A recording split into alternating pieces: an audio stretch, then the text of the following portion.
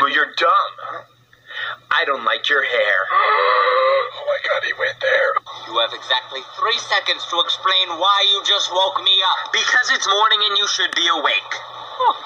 Interesting. I didn't know you wanted to die today. Francis, you can't kill me. It's too late. I've already decided how.